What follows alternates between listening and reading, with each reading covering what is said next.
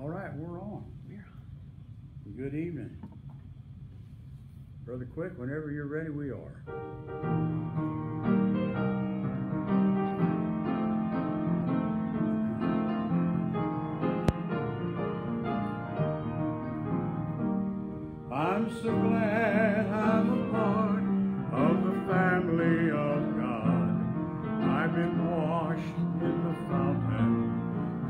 By his blood, heirs with Jesus as we travel this sod. I'm a part of the family, the family of I can't hear anybody singing. Come on. I'm so glad I'm a part of the family of God. I've been washed in the fountain, cleansed by his blood, joined heirs with Jesus as we travel the sun. I'm a part of the family, the family of God. Bless the Lord, oh my soul and all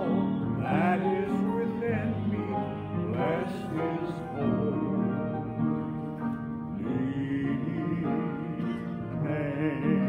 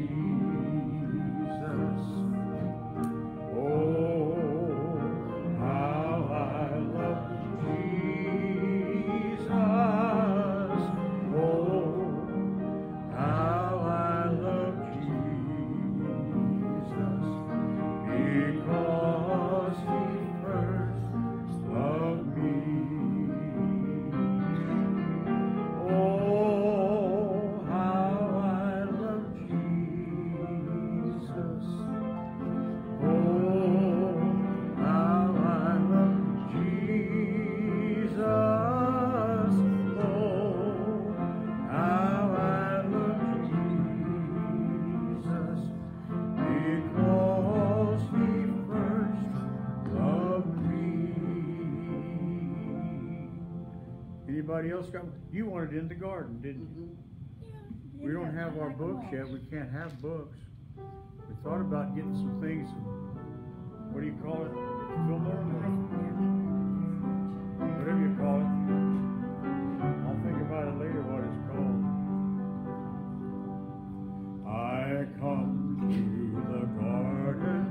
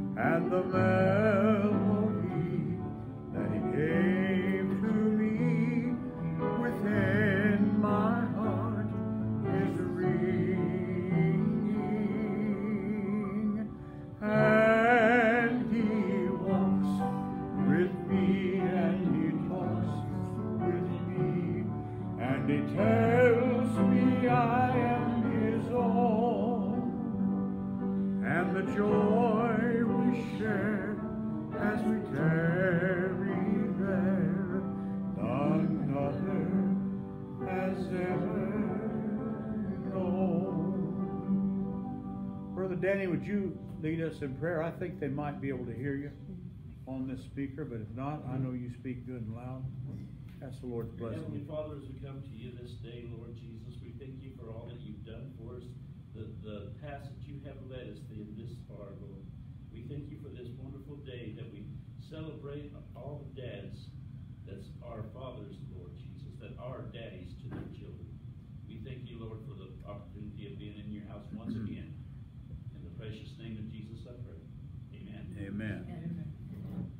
I've asked Brother Quick, we may sing one or two more songs, but I've asked him tonight if he'd say something at the early part of the service.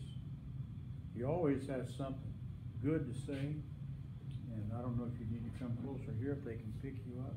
I'm sure they pick me up right here. you know, serving the Lord is not a hard thing to do. When Jesus comes into your life and you've developed a relationship with Him, it's the most wonderful thing in the entire world. I've been saved a long time. I'm an old guy. I'm 82 years old and counting. But I remember when I was saved at the age of eight years old, reading the book of John. There's power in that word. Yes. We have no idea. You know, sometimes as Christians, we forget what we have when we open our Bibles. That's life. It's liberty. When we get into His Word and He gets into us, it changes our lives. There's a real difference. And if there's not a real difference, I think we need to go back and make sure that we are. Because when the Lord comes in and gives you a desire for His Word, things change. I've had quite an interesting life, traveling over these many, many, many, many years. But you know, I found one thing in every place I've ever been the presence of the Lord is there. And as long as He's with us, our lives can be successful. We can know that our heavenly home is secure. Thank God for that. But you know, even our life here on this earth is secure because we're under His wings. He's protecting us. I'm just glad that I know Him and have known Him for these many 73 years. Wonderful testimony. Brother Jim Henning, this is a special Father's Day. You have, you and the wife have four. Did I count that right? Three? Well, what? Guess I was getting real evangelistic on that one, but uh, please say a word to the people. I, I know they can hear you. People have said they were picking this up after all. So. Whatever's on your heart. I know this is just kind of off the cuff, but you being a preacher, I know you got something to say. So if you would. God is good. All the time. God is good.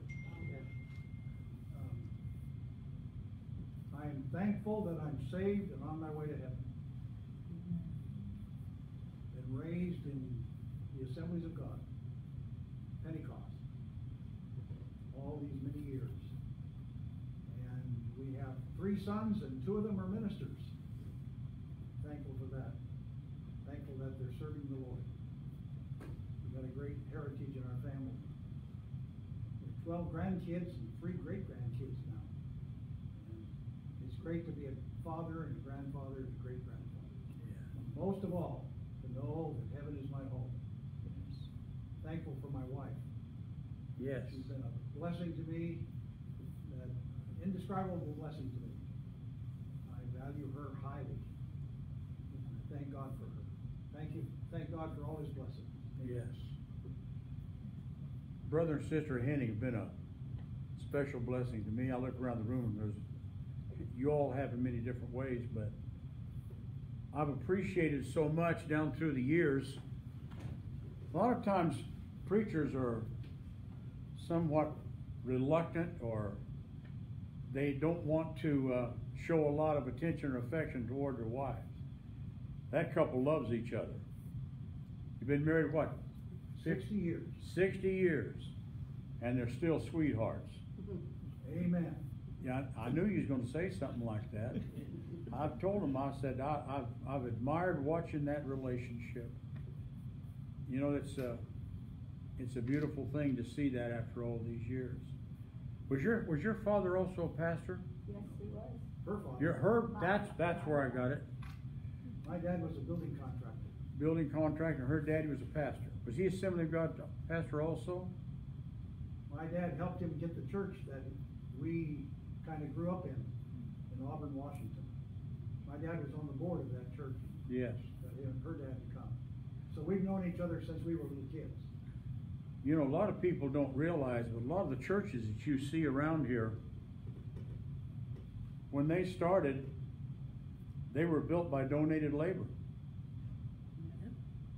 The church that I was saved and baptized in, and my dad was ordained in, they started out, in fact, they were meeting in a garage. And uh, that turned into a city block in Bellflower, pretty much of a city block in Bellflower. And we've been one of the largest churches, fundamental churches in that area. You know, we're not supposed to despise those days of small beginnings. Uh, Even tonight, we're not completely full open. It's a, it's a Father's Day, and I was surprised we had this many people out tonight. And we're still staying legal. Just let you know, we're sanitizing everything before and after using, you know, that seems to be an important thing these days. And, uh, we wanna comply, and we're gonna still continue to comply. And, uh, as long as they don't try to shut us down, that's the day we really stand up. Yeah. Brother Danny, we're not in a big rush tonight. And, uh, you were talking this morning about your dad giving tribute. Let's do that one more. I could, I could go around the room, but would you say something, please? Cause I know your dad was a preacher also. Yes, he was, uh, what's so fascinating about my dad's, uh, story about salvation was him and my mom got married in nineteen forty-eight. Uh, both didn't know the Lord. My mom got saved first, and my dad thought she was cheating on him, because she was taking off at night and not coming back till later. So he decided to and found out who she was having an affair with, and he fell, fell in love with the same guy. That guy was Jesus Yeah. Except the Lord as his personal savior. And my dad, he, he just went to the second grade. I don't know how far he got in the second grade, but he was accused of doing something. The teacher said, well, we run out of time, but tomorrow I'm gonna whoop you. My dad said, no, you won't, I won't be back. So my dad never did go back to school. He really couldn't read or write. My mom used to read comic books to him, read the newspapers to have to sign his name. After getting saved and filled with the, uh, Holy Spirit, he opened the Bible, he started reading there in the book of Mark, there at the end. Go ye into all the world and preach the gospel. He started yelling for my mom to come in. And as she came in and said, what, what, what's wrong? He said, listen. He started reading those scriptures to her. God opened up his eyes to understand the word of God. And God used him for many years as a tin evangelist and as uh, my, my, he, he was my legacy, or I'm his legacy, or I'm his descendant that's carrying on the tradition. And I thank God for my dad and my mom, both ministers of the gospel. Yes. What a wonderful heritage. Anybody else like to say something, give honor to your dad or your, well, even your mother, as far as that goes, your dad. I appreciate what you said about your mom too. I know we just had Mother's Day here a while back and we're concentrating right now, but I've said it before when I preached, behind every great man, there's a woman somewhere. A strong woman. It's either, it's either your wife, your mother, your grandmother, your aunt. It might even be a close friend. But I believe I've never seen it fail. Behind every great man and every great leader. I'm maybe, there's an exception to the rule somewhere, but as a general rule, that's the way it is. I've never been able to figure out this thing about women's lib. I was raised with liber- liberated women. Uh-huh. If they decided to tear a wall out in the house, they did not necessarily ask the men, they just had it tore out. When the guys came home, they had to help finish what it was. If they wanted to paint a room, they grabbed a, a brush or a roller or whatever it is and chipped in. Mm-hmm. Well, I see what you're doing. I don't, I don't ever understood, I never understood that. And at the same time, it was a different life. Women were pleased to cook and take care of the family. I was at the restaurant today watching the kids. Every time we go to eat, they all got their electronic devices out. Mm-hmm. I told my wife, I said, if we had young kids right now, I'd say, leave those things in the car. We're going to go have dinner or whatever it is. I know that's old fashioned stuff and people don't like it. We wonder why we've got the world we've got today in the United States. Mm-hmm. We got a bunch of untrained people. They don't know no more. They get out in the street and put the place on fire so they can make a statement. Well, I didn't mean to preach that yet, but I want to say this. I praise the Lord for the dad. You've heard me talk about my father a lot. I tell you, I don't know who could be more privileged to have the dad that I had. Man, I used to think that that man that that, that man is the hardest man out of World War II. We like we had a military home in a lot of ways. My dad loved to do things the same thing. He he loved a schedule. That's one reason why I don't like a schedule that much because we live by it. And it was important. Of course, you know in World War II when you're flying airplanes and you've got all these responsibilities, you've got to have a schedule. And you this is what a lot of people don't understand, these young people. We talk about this. We need to know history. You know, I, today we were talking, Brother Danny and I, one of the other men. You know, I, I couldn't figure out. You know, the Japanese they they bombed Pearl Harbor.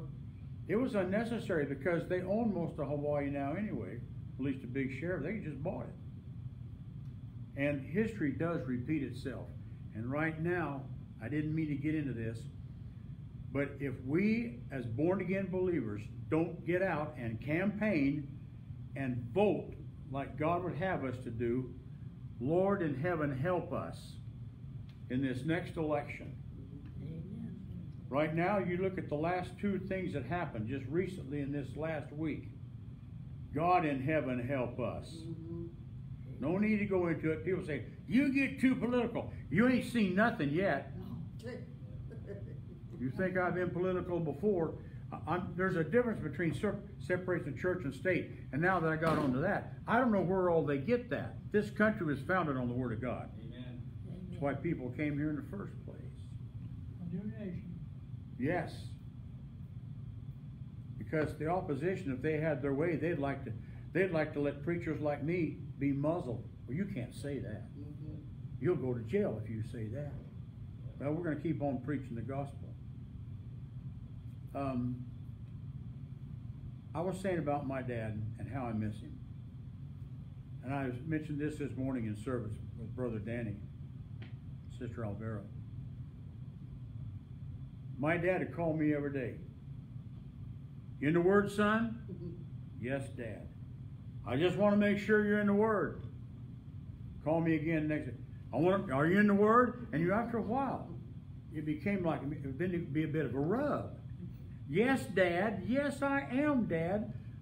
You don't know how much I would give right now if I could pick up the phone and call my dad to hear him say, Son, are you in the Word? Along with what you were saying. Because this is life. This is life. You know, let's do let's let's do one of these songs. We got to do one of them first anyway. What one you got keyed up there, Flo?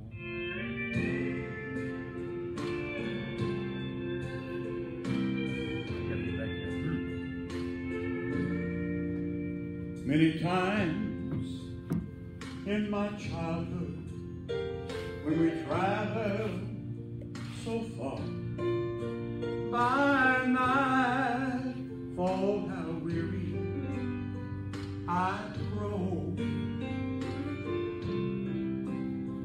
Father's arms would slip around me and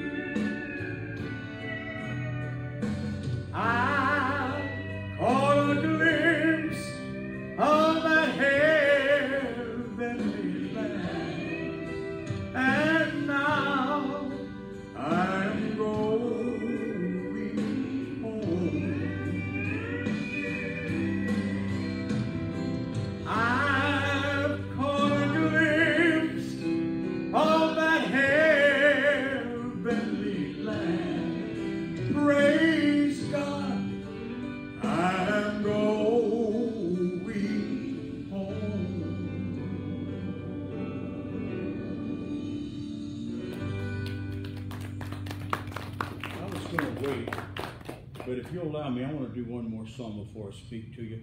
I hope we're not in too big of a hurry. We went a little bit long the other night, but we might have to go a little bit long tonight, but I'll try to, I'll try to condense it down.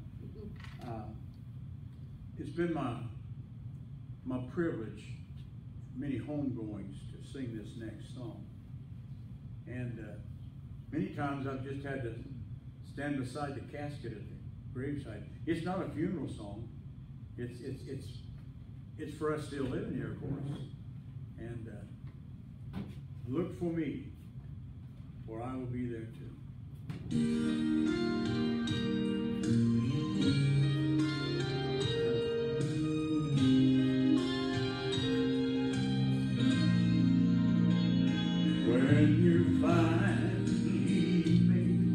Your entrance to that city,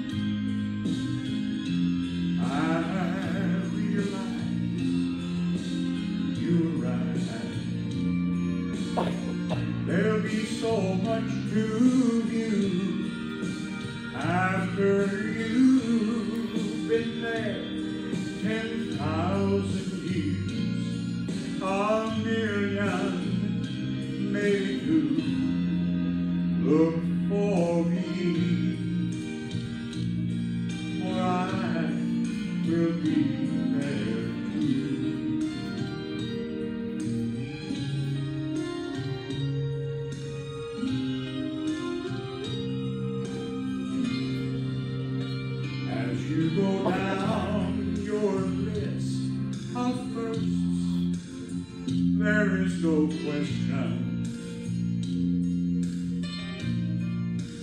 You'll want to see your loved ones waiting there for you.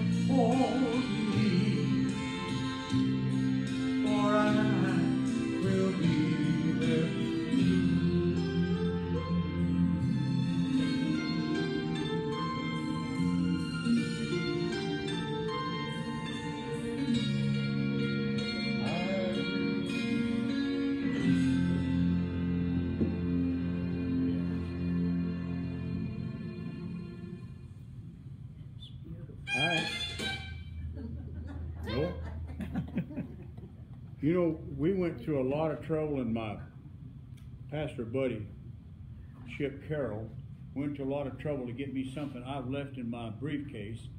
And I'm gonna get it out of there because I'm not gonna not use. I looked all through the office and through everywhere I could to find this and finally had to print it over for me. And I'm not gonna slip up and not use this after having this all done. If You'll just bear with me.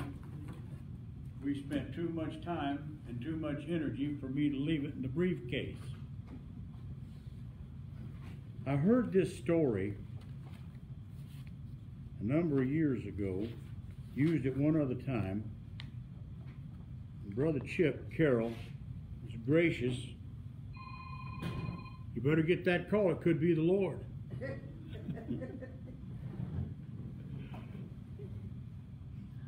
it's a true story.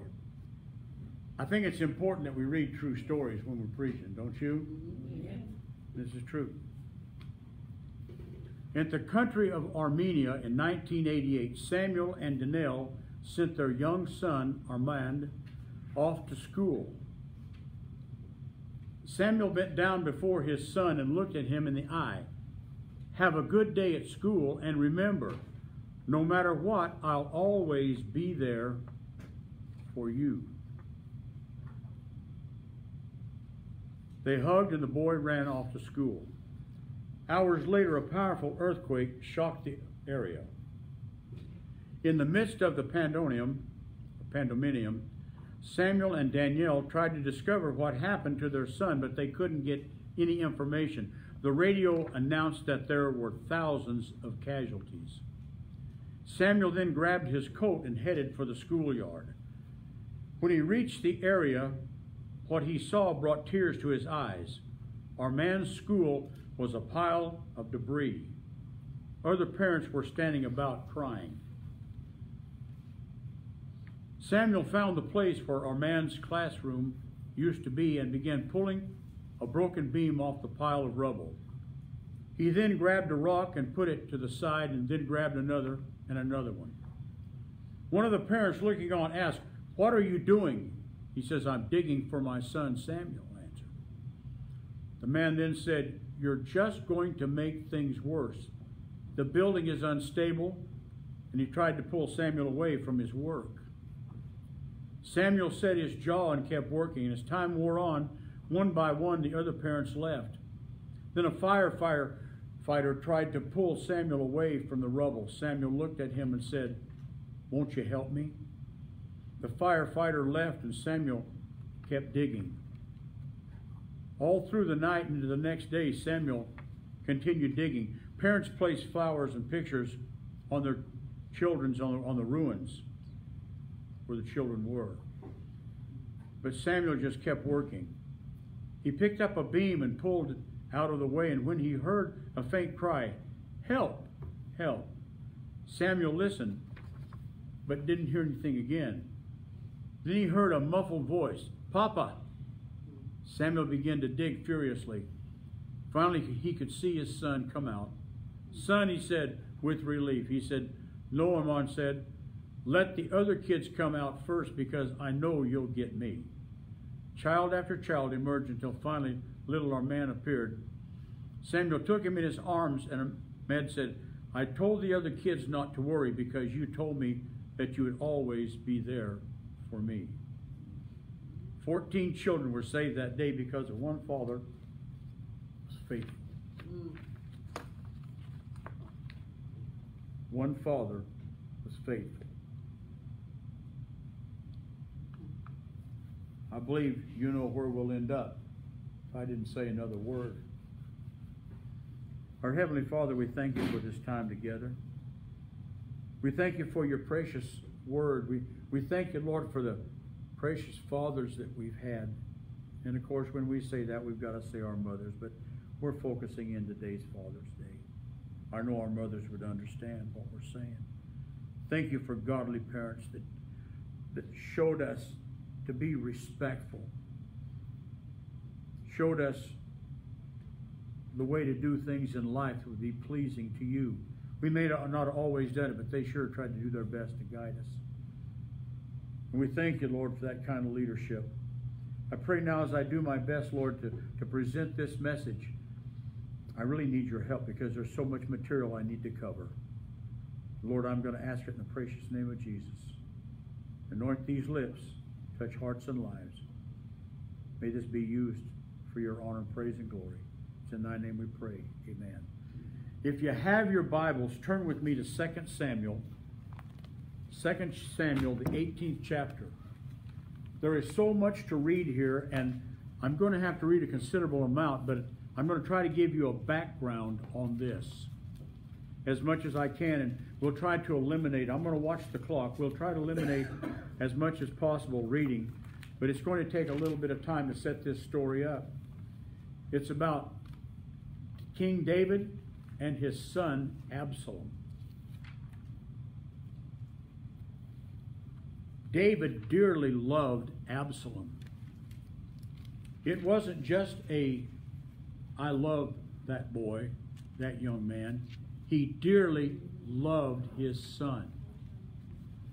Absalom was a very handsome young man. It said that he had his own pillar in the palace where he would stand and he was he was good looking like his dad. I could imagine him.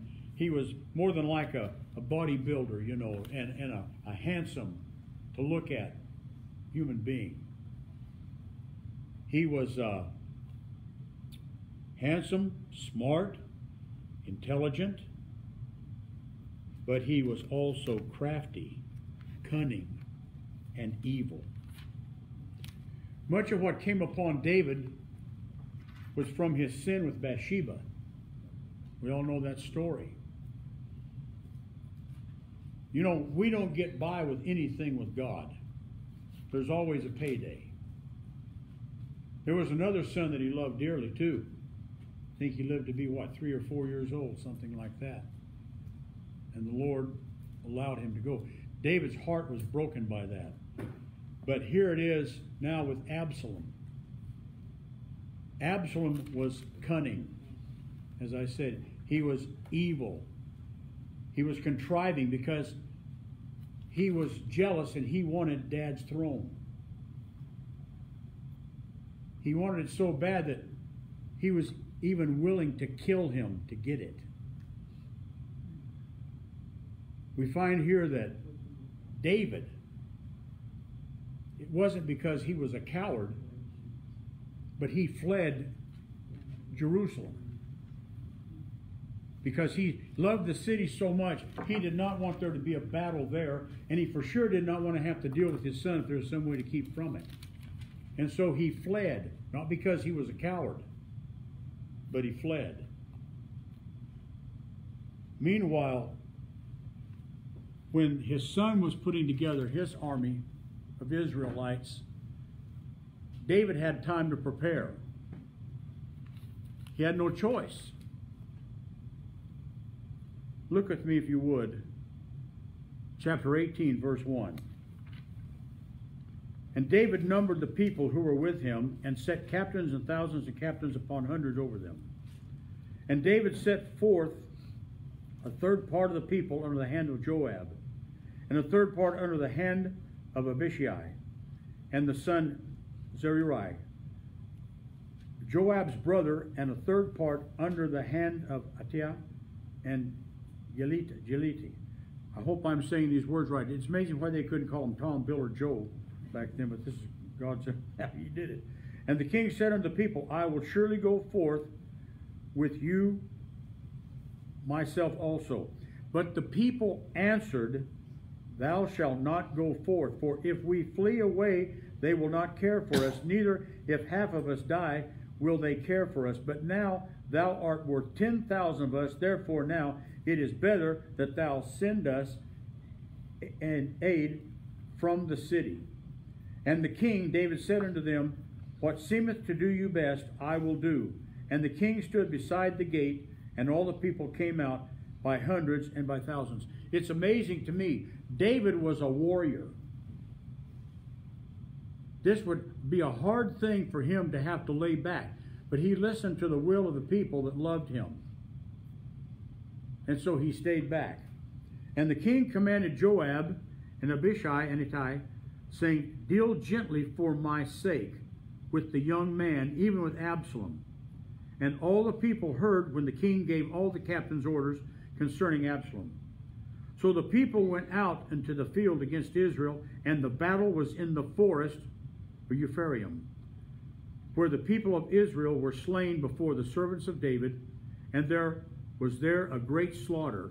And the day of 20,000 men, that day of 20,000 men, for the battle was there scattered over the face of all the country, and the forest devoured them more people than the day of the sword. It, the day of the sword. What happened? There was so much trees, forestry, in the process of running, they were getting away, and they literally, more of them died than even by the sword. Interesting. They were getting out of there. And look how many of them. That's a lot of men to die. And Absalom met with the servants of David, and Absalom rode upon a mule.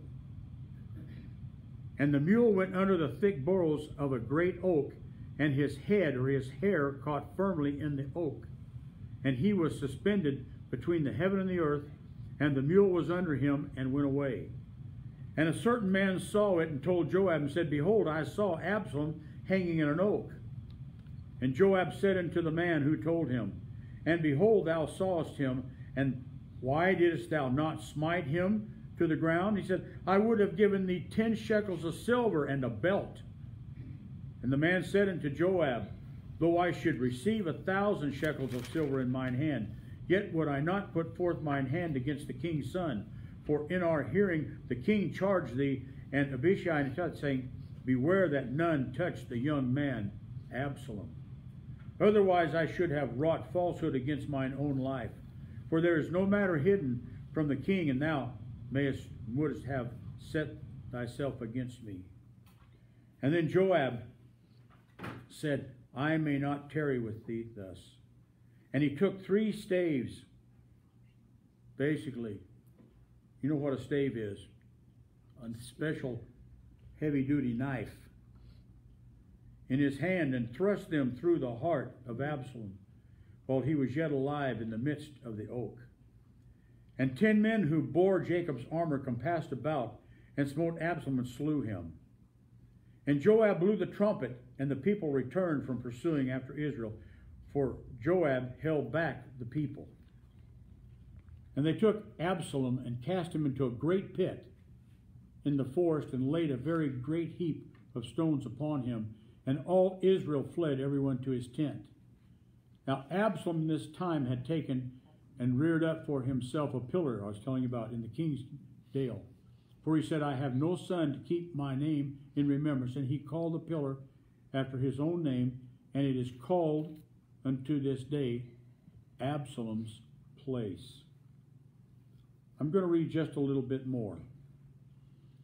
Then said Ahimaaz, the son of Zadok, Let me now run and bear the king tidings, how the Lord hath avenged him of his enemies. And Joab said unto him, Thou shalt not bear tidings this day, but thou shalt bear tidings another day. But this day thou shalt bear no tidings, because the king's son is dead. Then said Joab to the Cushite, Go tell the king what thou hast seen. And the Cushite bowed himself unto Joab and ran. Then said Ahimaaz, the son of Zadok, yet again to Joab, But come what may, let me, I pray thee, also run after the Cushite. And Joab said, Why wilt thou run, my son, seeing thou hast no tidings ready? But come what may, he said, Let me run. And he said unto him, Run.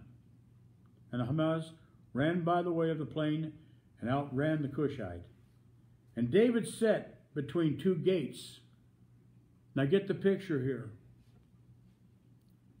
He was waiting to hear what had happened to his son in battle.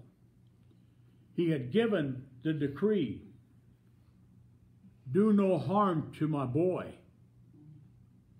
Leave him alone. Let him live. We can see what has happened already. And David is sitting between the two gates. And the watchman went up to the roof over the gate unto the wall and lifted up his eyes and looked, and behold, a man running alone. And the watchman cried and told the king, and the king said, If he be alone, there are tidings in this mouth. And he came space and drew near, and the watchman saw another man running, and the watchman called to the porter and said, Behold, another man running alone. And the king said, He also bringeth tidings. And the watchman said, I think the running of the foremost is like the running of Ahimaaz the son of Zadok. And the king said, He is a good man and cometh with good tidings. And Ahimaaz called and said unto the king, All is well. And he fell down to the earth upon his face before the king and said, Blessed be the Lord thy God, who hath delivered up the men that lifted up their hand against my lord the king. And the king said, Is the young man Absalom safe? And Ahimaaz answered, When Joab sent the king's servant and me thy servant, I saw a great tumult, but I knew not what it was. And the king said unto him, Turn aside and stand here. And he turned aside and stood still, and behold, the Cushite came. And the Cushite said, Tidings, my lord the king, for the Lord hath avenged thee in this day, all of them who rose up against thee. And the king said unto the Cushite, Is the young man Absalom safe? And the Cushite answered, The enemies of my lord the king, and all who rise against thee to do thee harm, be as that young man is. And the king was much moved, and went up to the chamber over the gate, and wept. And he wept. Thus he said, O my son Absalom, my son, my son Absalom, would God I have died for thee, O Absalom, my son. I'm not going to read the rest of it, but you can go on and find out that in the lamentation of David, the people saw it. They saw our king is over saddened like we've never seen him before. And here Joab got news for this, and he went to King David. He said, Listen, I'm paraphrasing here. He said, You need to straighten up here. He said, this, the, the, the people should be rejoicing, and they're not.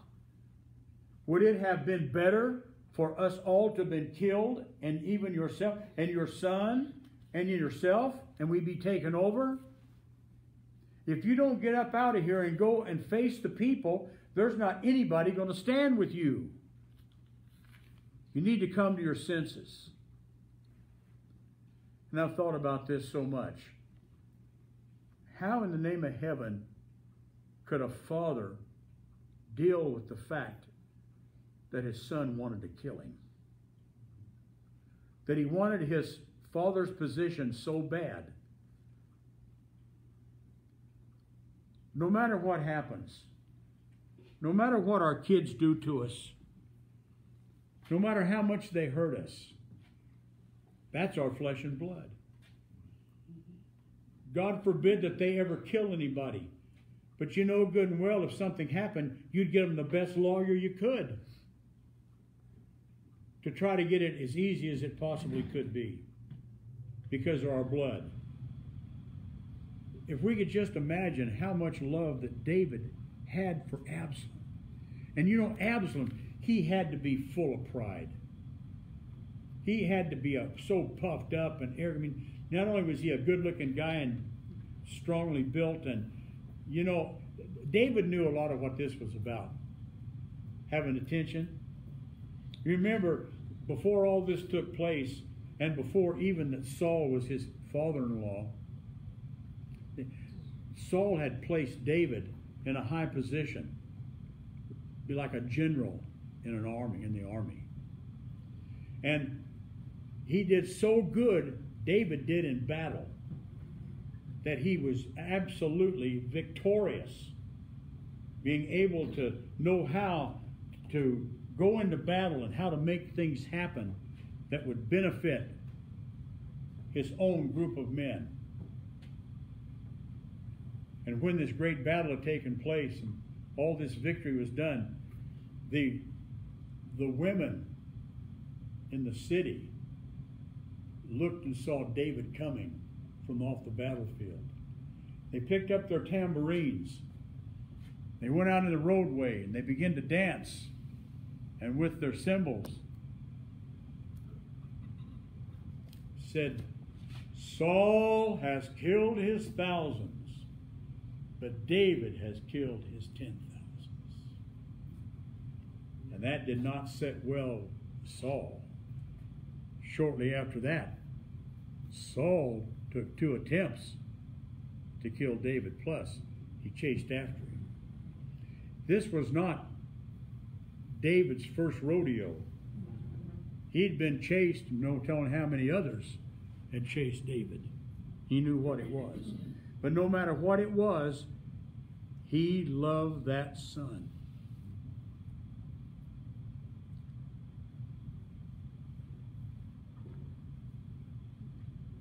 Our Abba Father loves us so much that he was willing to give up his son that we might have eternal life. The very God of heaven became flesh, dwelt among us, we beheld his glory. And the God that could have wiped us out because of our sin and unworthiness, he says, You know, I love you this much. I have put in every one of my human beings a measure of faith. What are you going to do with it? You're going to believe something. An atheist believes something. They believe there is no God. They have a faith whether they believe it or not. The agnostic that denies the existence or is dubious without God, they've made a decision. The decision is will we accept this Messiah of heaven that was and is our propitiation? He's the atoning and cleansing agent of our sin. Will we accept his death, burial, and, re- burial, and resurrection as our eternal life and for forgiveness of sin? There's the question. See, this is what's happening today with our world.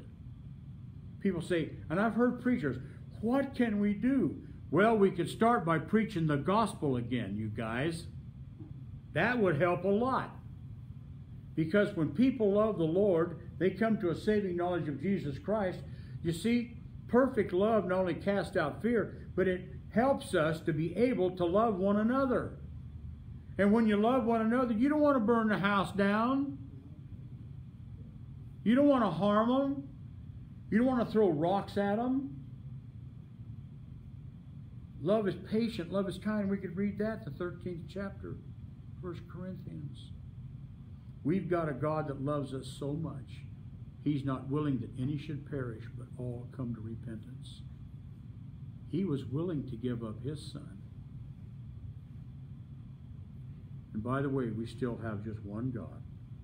He's God the Father, God the Son, God the Holy Spirit. A lot of people don't believe that, but you've heard me say it before. If you didn't believe in a triune God, this Bible would not be near as thick as it is. In fact, it'd be a small book. Because the whole Godhead is from Genesis to Revelation in this precious book. And it can be proven.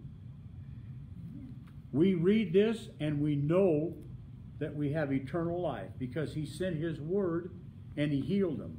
First of all, that spiritual healing. The healing is he changes us from an unsaved into a new creation. The question is, have you come to that place? We're like the song that we sing down through the years, and we're going to pick it back up again. All to Jesus I surrender. All to him I freely give. I will ever love and trust him. In his presence daily live. I surrender all. I think of those great old songs. Is your all on the altar of sacrifice laid?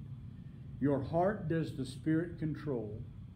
You can only be blessed and have peace and sweet rest when you yield Him your body and soul. We want to know how to heal our land. We need to turn to the God that created us. Say once again, Lord, here we are, unworthy. But thank you that you were willing to give up your Son that we might have eternal life. The last thing I want to say to you if you've not received Christ as Savior,